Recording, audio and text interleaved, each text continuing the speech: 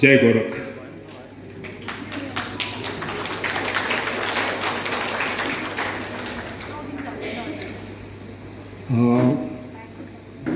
एती जगह को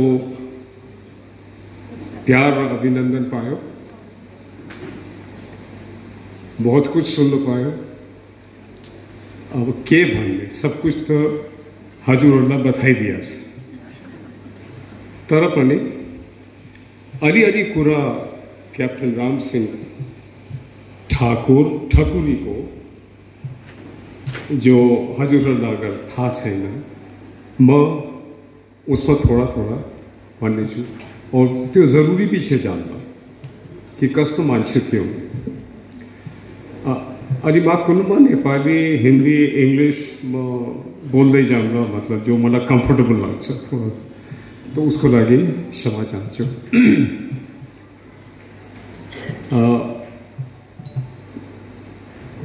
हमने आईने को तो बात कुरा सुनिहाल्यो तो एक दुई चीज़ बड़ा इम्पोर्टेंट छ उसमें यो छ कि बिट्विन 1945 एन्ड 1947 जब पूरा आईने को थियो त्यो टाइममा उनले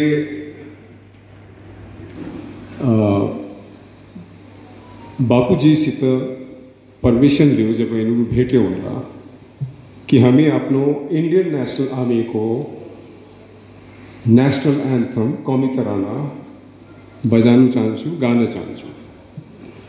और उनको संग आईने वेटरन को अलावा काफ़ी हम गोरखाली जनहरू भी थियो, और उनको ऑर्केस्ट्रा में। मीन गुलाब सिंह, मैं तो उन्होंने काका भन्छु गुलाब सिंह काका वही हो यू राम शरण गुरुङ काका एंड गणेश बहादुर थापा रघुवीर सिंह ठाकुर काफ़ी जना थे। तो उन्हें जो परमिशन मांगे तो एंड 1945 अहिले हामीलाई आज़ादी पाएको भी छैन। तो 1945 उनले आफ्नो नेताजीले दिएको जर्मन भाइलिनमा यो थोन बजाएको थियो। सुबह सुख चैन की बरखा, बरसे भारत नाम है जागा पंजाब सिंध, गुजरात मराठा, द्राविड़ उत्कल वंगा, चंचल सागर, विंध्य हिमालय, नीला यमुना गंगा। तेरे नित गुण गाए, तुझसे जीवन पाए पाए तुझसे आशा। सूरज बनकर जग पर चमके भारत नाम है जागा। जय हो जय हो जय हो।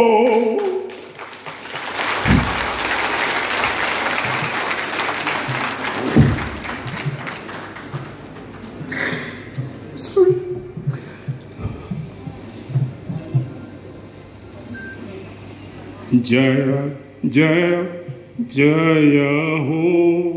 भारत नाम है जागा।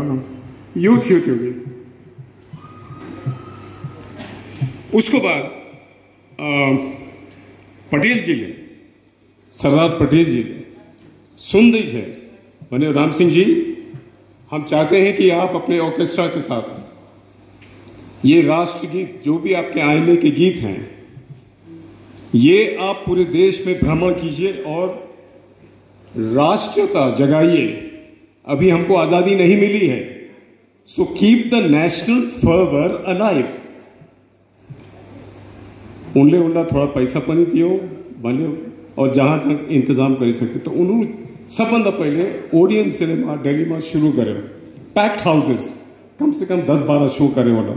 तो थर्टी सॉन्ग्स जो आइने को थियो ऊ कैप्टन राम सिंह ले, उसको म्यूज़िक म्युजिकहरू कम्पोज गरेको थियो एन्ड सम इम्पोर्टेन्ट वान्स एउटा त यो थियो अर्को जो इम्पोर्टेंट थियो सुभाष जी सुभाष जी, वो जान हिंद आ गए, ये नाज है में जिस पे, वो शान हिंद आ गए। फिर, बड़ा रामड़ो गा थियो आज, मैंने जो सुने हैं, कदम कदम बढ़ाए जा। वो रामड़ो इस तरह लागे हो कि जो टेंपो थियो जो जोश थियो मज़ा आएगा। बहुत मज़ा आएगा और उसको माथी, नानी नानीहरूले जो जो कह रहे थे वंदे मातरम, जय हिंद, को जो लय उन्होंने उसमें ऐड करियो that was fantastic it was beautiful तो इसलिए हमने कहले कसो अरेंजमेंट भी बन चु you know that in a different way of arranging that song but the tune is the same एक यो थियो अच्छा लगा। और एक गाना जब भी उन्होंने फ्लैगहरू करते थे, कौमी तिरंगे झंडे ऊँचे रहो जहाँ में, यो इन्होंने स्लो मार्च पास में बजाम सा तो यो जो उन्होंने गीत पूरा जगह करो जब हमला आज़ादी पायो 1947 में हमरो पास नेशनल एंथम थे ना। तो उनला बुलाए गए। और पूरा ऑर्केस्ट्रा बुलाए गए वापस उन्हीं मसूरी में थी तब और भाई तो सिक्सटीन ऑफ़ अगस्त में उन्होंने कौमी तरह तराना, शुभ शुभ चैन की बर खबर से यू गायो, वायलिन में बजायो in 1947 the first man and the INA to sing and play the national anthem in India. And दूसरा यो છે कि दैट एज अ उसको बाद उनले, उन्होंने जॉब ज़रूर पाइना नौकरी पाइना कुछ पाइना ज़ीरो नथिंग और खैर फिफ्टी सिक्सटी इयर्स हम तो खैर कसीले बात भी करेगा। તો એનું જતી એનું થયો દેહરાદૂન બળી को उता गयो कोई धर्मशाला गयो जता भी जाना थियो उन्होंने उन्होंने आपनो गांव होर में गएर फेरि गांव को काम કર્યો गांव को लागि काम કર્યો सडकहरू बनाउनु या कसैलाई मद्दत गर्नु यसरी गरेर उनीहरूले अलिअलि पैसा कमाएर आफ्नो गुजारा चलायो फेरि नाइन्टिन फोर्टी एटमा उनलाई third battalion PAC nineteen forty एटमा उनलाई बोलायो आउनुहोस् यहाँ हामी ब्यान्ड सुरु गर्न चाहन्छौँ त्यो उनले फेरि नाइन्टिन फोर्टी एटमा यहाँ आएर यसलाई इस्टेब्लिस गर्यो और सिंगल ह्यान्डेडली मतलब एक आफ्नै हिम्मतले बुतले उनलाई सब इन्सपेक्टरमा जोइन गर्यो उनले ब्यान्डलाई जति भी डिस्ट्रिक्टहरू थियो युपीको जहाँ जहाँ पिएसी थियो जहाँ जहाँ पुलिस लाइन थियो वहाँ उनले बैंड खड़ा करे सिंगल हैंड और फिर इंस्पेक्टर बन्यो इंस्पेक्टर बने, फिर डिप्टी कमांडेंट सन बन्यो और काफ़ी अवार्ड्सहरू पायो एंड उनलाई उसको बाद फिर फाइनली एमेरेटस म्यूजिशियन और life time service by the government of UP दियो और स्टेट फ्यूनरल पायो जब भी उन्हें गुजरे। So it is a very big thing for us उन्हीं लाइफ लाइन थी लखनऊ को यूपी को। लाइफ लाइन लाइफ लाइन की उनको बगैर कोई इवेंट कोई सेलिब्रेशन कोई डिग्निटरी कोई फ़ंक्शन होते थे ना। उनको फिर एक खासियत ये थी कि एक म्यूजिशियन होने को तौर में एक तो बड़ा सिंपल मानते थे वेरी वेरी सिंपल मान्छेहरू आइनने घर बिल्कुल धर्मशाला चाहिँ कसैलाई नौकरी चाहिन्छ कसैलाई स्कुल एडमिसन चाहिन्छ कसैलाई बेल चाहिन्छ जेलबडी राम सिंह साहब के पास जाओ। तो सब राम सिंह साहब को पास पुगी जाओ। इवन डीआईजीज आईजीज हाम्रो छोरीलाई एडमिसन पाइरहेको छैन जय जाते मतलब ही वॉज़ पीपल्स मैन हर फेस्टिवलमा कोही भी फेस्टिवल हो, कसी को भी होस् राम सिंह सन was there with his musicians और उनले त कम से कम चीफ मिनिस्टर्सहरूलाई होलीमा नचाइदिन्थ्यो थियो देश to dance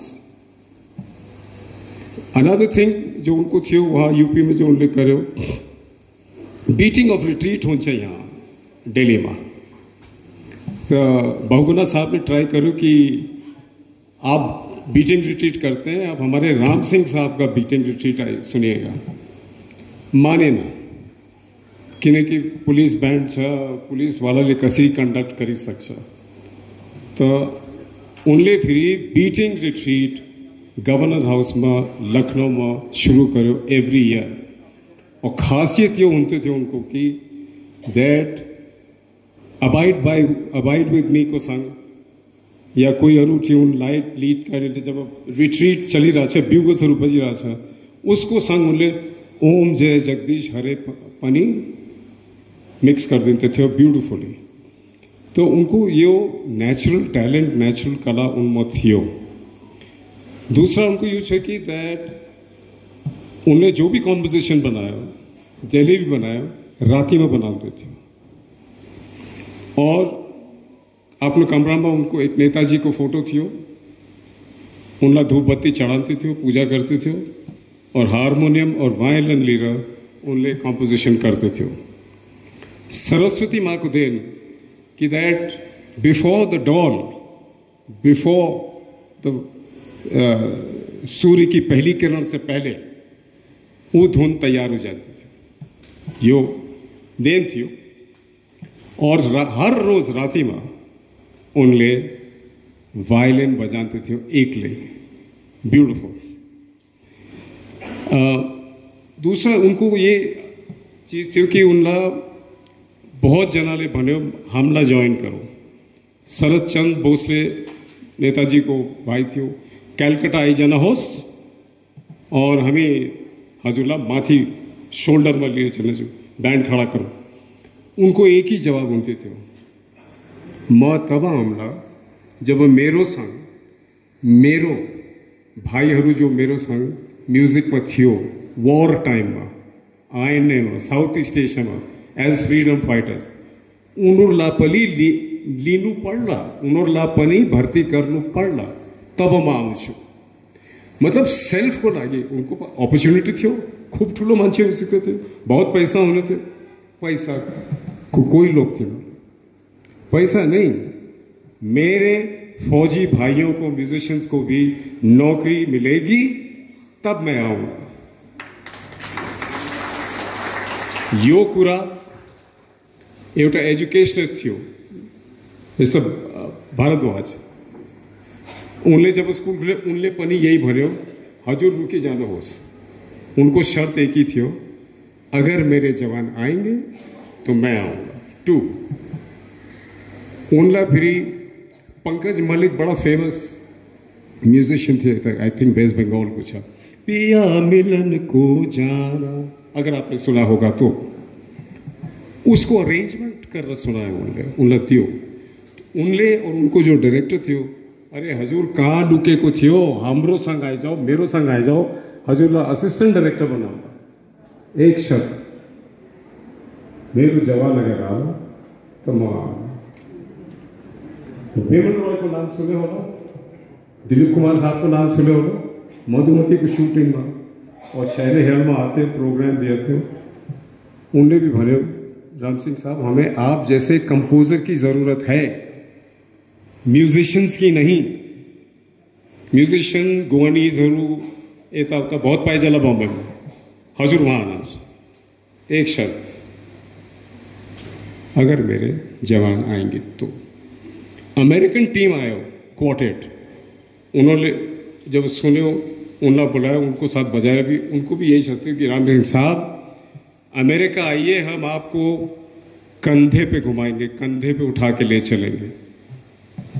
Only one if you call my musicians to तो आखिरी में जब पीएससी ले बुलाया, वहाँ भी उनले यही बने। सरोजी नायडू साहब थियो रतुरी साहब थियो कि आउनुहोस् तो उनले भी यही भने कि म जवान हुन लाइसक्छु उन्होंने हाँ भनी तब गएर यूपी पुलिसको जर्नी सुरु भयो। तो यो उनको एक क्यारेक्टर थियो कि आफ्नो मान्छेलाई छोड्ने छैन तो ही वॉज़ पीपल्स मैन और उनको नानीहरू आज सब फरीपुरी रहेछ सब and they are all doing well तो उनको यो थियो को कमिटमेंट कि जब कमिट कर दियो तो कर ला।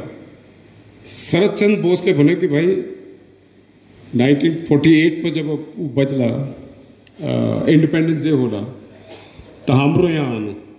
उन्हें कमिट कर दियो। तो जब पीएससी ने बुलाया पीएससी ने भन्यो कि यहाँ आ जाओ, पंद्रह अगस्त में ज्वाइन करो 1948 में। उन्हें भने सॉरी सर नौकरी बाद में करूँला मैले कमिट गरिराखेको आई हेभ कमिटेड मतलब नोकरीलाई भनिरहेको छु नोकरी म कमिट गरिदिएछु, मैले प्रमिस गरेको छु कि म यो independence day nineteen forty eight एटको म पहिले क्यालकाटामा फ्ल्याग उठानेछु, किनकि मैले कमिट गरिदिएको छु शरदचन्द्र बोसलाई। तो ये उनमा यो खासियत थियो। अरू क्या थियो उनको जो थियो कि कसैले भन्छ अरे ये गोरखा लोग क्या बजाएँगे? क्या है इनके पास तो कैसे होता है? इसके लिए तो बड़ा इंटेलिजेंस चाहिए। जो साची कुरा हो पेपर में को चाहिए।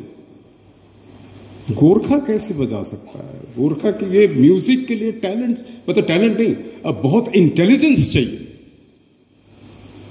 And they were very well known musicians and dancers right लेकिन जो भन्नु के बाद भी सॉरी वहाँ तो उनमें जो, ये जस उनले भन्यो तो उनले कुछ भनेन उनले भन्यो भाइ सरस्वती माताको देन छ म्युजिक मेरो खुनमा छ। अब म्युजिकको सुन्नुहोस् बिस्मिल्ला खाला, भारत रत्न पाएको छ। And deserve it he was very good पूरा भ्रमण करे उनले। और शहनाई को लेवल कहाँ से बड़ी कहाँ लगती है very good but one instrument यो सब हुन चाहिन्छ इसलिए म भन्दैछु one instrument captain Ram Singh जो इन्स्ट्रुमेन्ट दिनुहोस्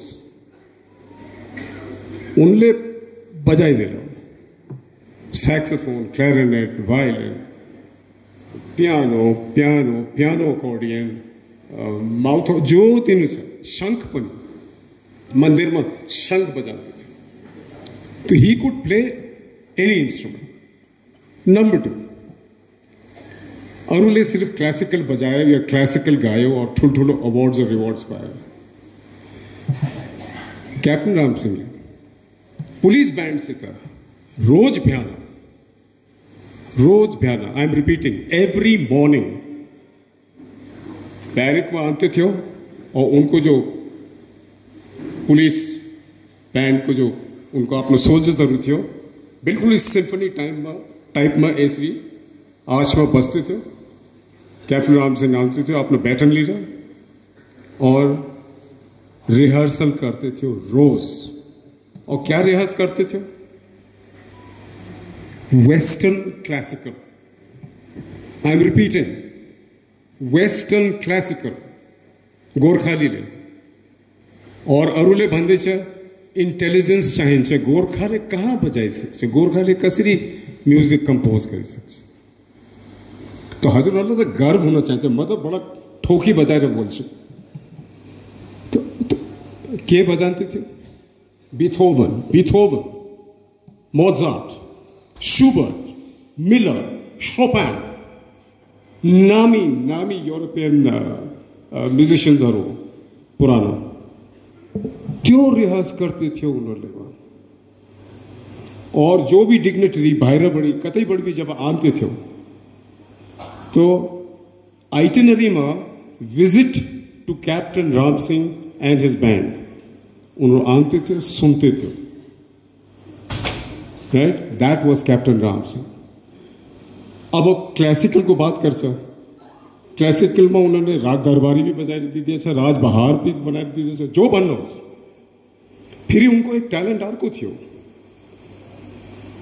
कोई ऐसा इवेंट नहीं था जो उनके बगैर मतलब हो सकता था। तो जैसे बड़ा ठूलो ब्याह थियो, बुलाया तो उनले भन्यो कि छोरी को नाम क्या उनले भने सुनीता। ठीक है जी। मैं उन्हीं जब माला लिएर हाला त मलाई भन्नु होला उनी आन्छ जयमाल लिए अरमानों की। देखो सुनीता दुल्हनी, या पहनाने चली। जय जयमाल लिए अरमानों की। That was captain Ram Singh को थी म्यूज़िक उसको बाद captain Ram Singh was a very good story teller त्यो टाइममा युनिभर्सिटीको स्टुडेन्ट्सहरूलाई सम्हाल्नु आसान हुन्न। ल डिपार्टमेन्टमा लखनऊमा। Pact two thousand I don't कति थियो? म बिल्कुल हलको पछाडि चुप लागेर पछाडि खडा थिएँ।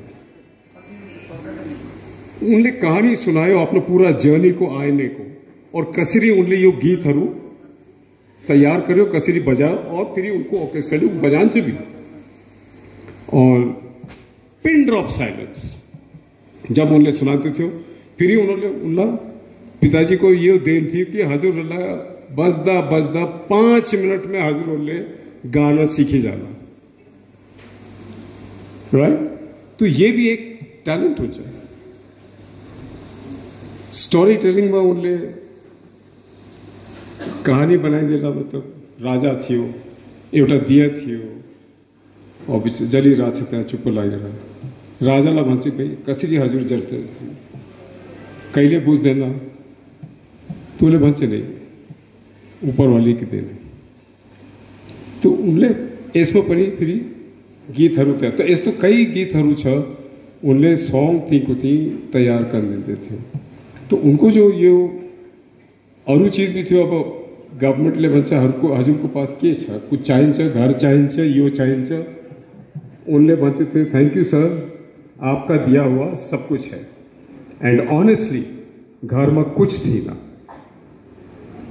उनको जब फ़र्स्ट फर्नीचर आयो जब मैंने जॉब करा, तब पाया rough furniture you know so here nothing simple man duty music people that's it so that is that is captain Ram Singh तो उनमें जो यो कॉन्ट्रीब्यूशन छ कंट्री को लागि contribution to children, contribution to society, you know, and to music is very very big. And reward is not that important. त यति भन्छु his contribution is uh, im immeasurable, immeasurable and priceless. तो भंडार तो मेरे पास बहुत कुछ है there's lot of stories I can but यो कुराहरू थियो जो हजुरहरूलाई सायद थाहा छैन यस लागि मैं थैंक यू वेरी मच धन्यवाद। नमस्कार। जय हिंद, जय गौरव।